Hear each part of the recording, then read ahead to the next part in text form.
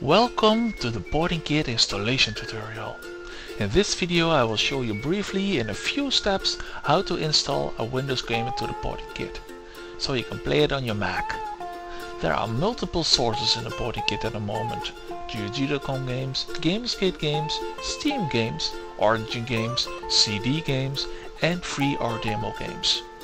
Only those sources offered in the Portingkit will be installed and are supported. Some sources have a different way of installing into the Portingkit, so that's why I made several videos for those specific sources.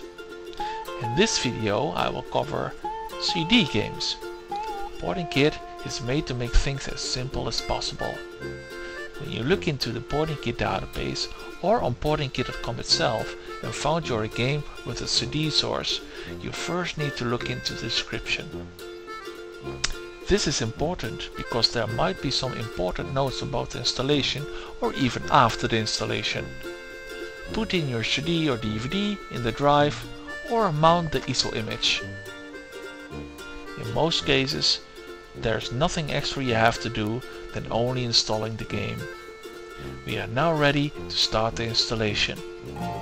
Click on the download button and let Portingkit do all the magic you will see Portingkit creates a wrapper and recognize the setup file on the CD and starts to install the game into the Portingkit.